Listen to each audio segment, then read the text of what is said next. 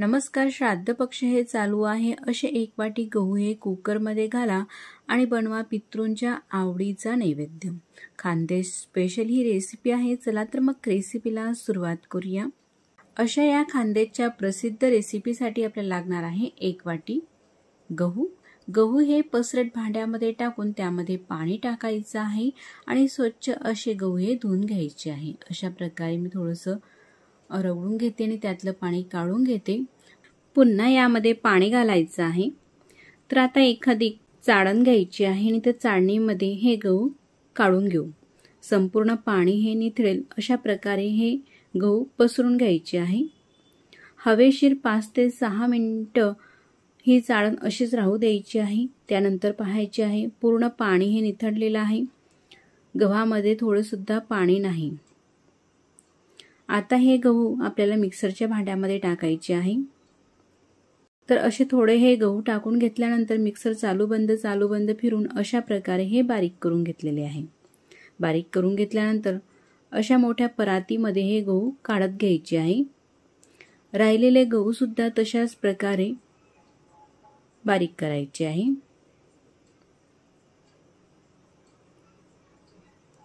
तर आता हे गहू अशा प्रकारे पसरून घेऊ थोडे परातीमध्ये आणि फॅन खाली पाच ते सहा मिनटासाठी मी पसरून ठेवते.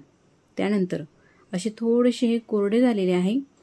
कोरड्या झाल्यावरती हा गव्हाचा कोंडा छान निघतो. त्यानंतर पाखळून घ्यायची आहे आणि अशा प्रकारे पाखळून घेतलं का असा हा कोंडा निघतो.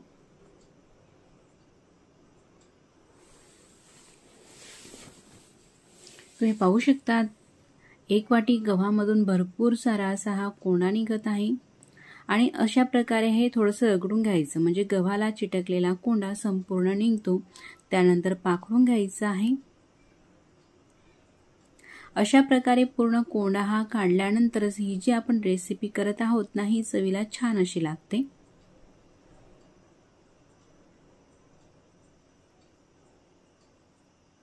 तर आपण ही रेसिपी एकदम पारंपरिक पद्धतीने बनवत आहोत.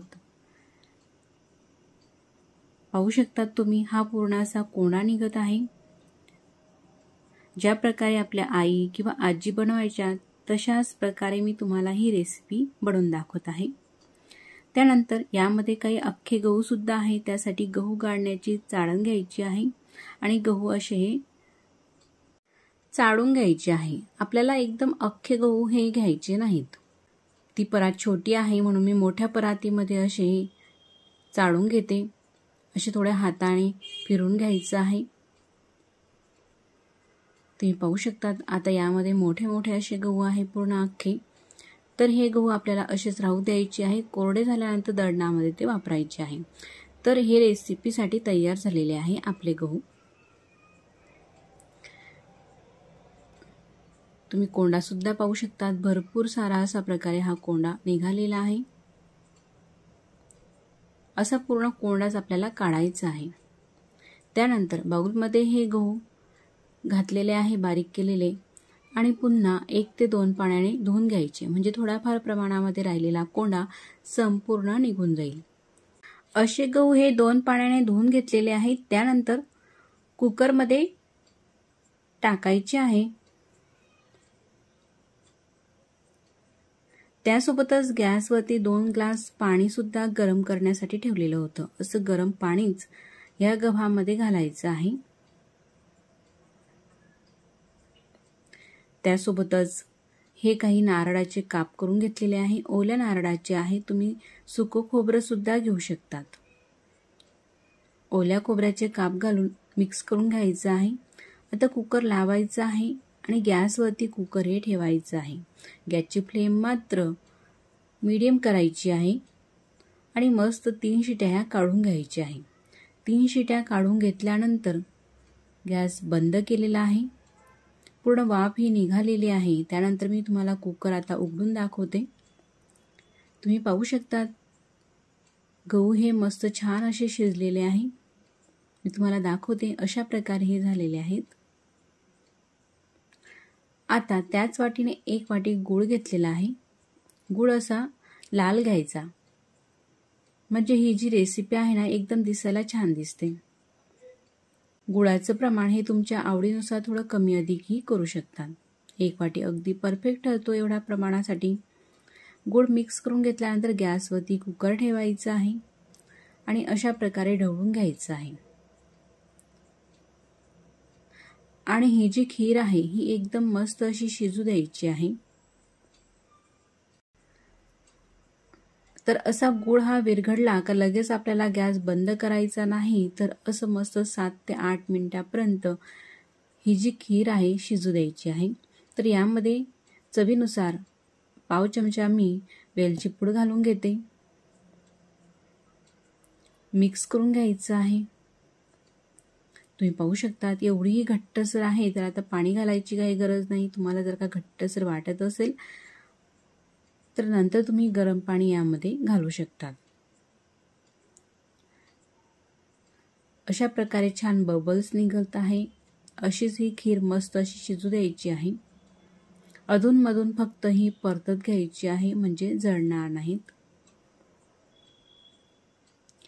तर पारंपरिक पद्धतीने खीर ही पाहिली तर यामध्ये ड्रायफ्रूट वगैरे घालत नाही फक्त खोबऱ्याचं काप वगैरे घालतात. अशा प्रकारे आपण जे घातले तेच. यामध्ये अगदी चिमूटभर मीठ घालून घेऊ. गोडाच्या पदार्थामध्ये थोडंसं मिठाचं प्रमाण असलं का आणखीनच चव वाढते. मिक्स करून घेऊ. जर का तुम्हाला यामध्ये काही ड्रायफ्रूट घालायचे असले तर एक चमचा तूप असं गरम करून घ्यायचं.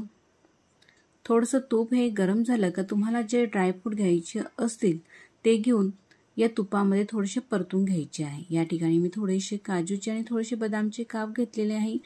गॅस अगदी कमी करून मंद आचेवरती हे परतून घ्यायचे आहे. आणि खरपूस असे भाजू द्यायचे आहे.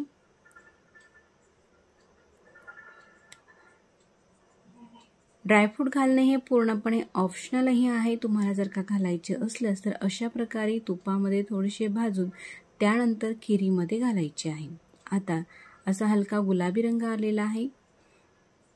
त्यानंतर गॅस बंद करून खीरमध्ये हे ड्रायफ्रूट टाकून घेते. खीर ही शिजत आहे. आता चमच्याने खीर थोडीशी हलवून घ्यायची आहे.